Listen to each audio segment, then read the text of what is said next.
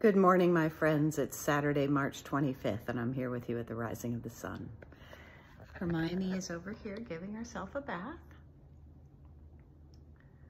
And it is a beautiful day out.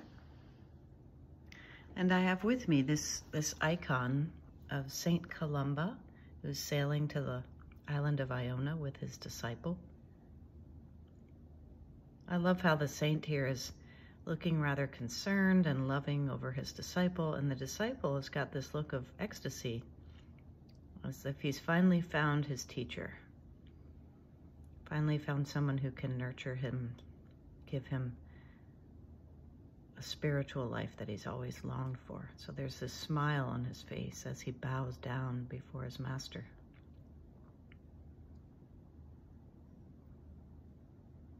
Think we all long for that teacher, that someone who can give us the answers we've been longing for.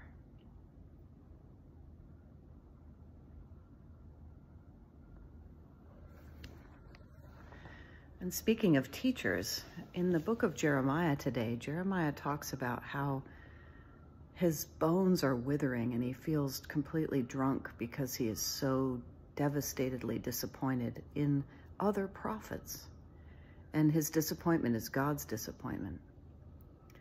It seems in all of the scripture that there's nothing disappointing, more disappointing to God than people who try to lead others to God but don't. For Jesus, it was the Pharisees and the Sadducees. For Jeremiah, it's these prophets who are not leading people to God. Some are leading them directly to Baal. They've already gone over to the dark side, so to speak, with the pagan gods. But some of them are claiming to be prophets, and yet they're they're helping people get wealthy or helping themselves get wealthy, or they've become distracted, or their teaching is not true and good.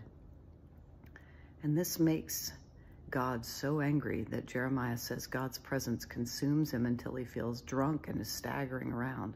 God's anger is so, so vibrant, so vicious, so all consuming.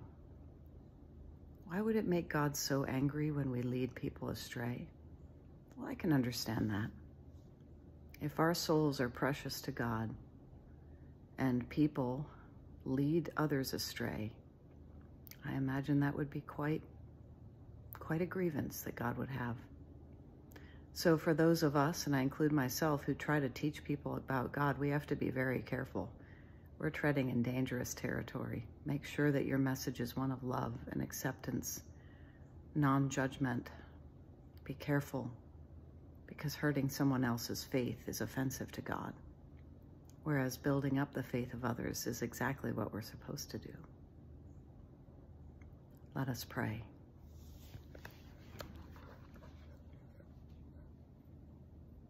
Almighty God, our Heavenly Father, we thank you for this beautiful day. We thank you for all the gifts that you've given us, and we thank you for our teachers, for those who have led us. We ask you to guide us as we try to lead others. Give us compassion and wisdom, caution and care.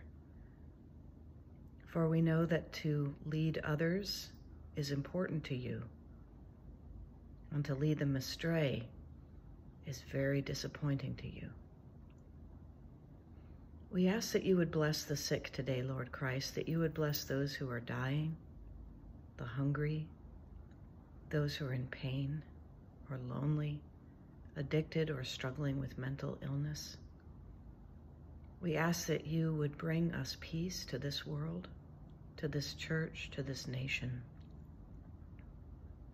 We ask that you would guide us today to do your work in this world, to cherish one another to care for ourselves and for this planet, this beautiful planet that you have given us. All this we pray in the name of Jesus, your Son, the ultimate of all teachers who led us to you. Amen. God bless you. Have a great day.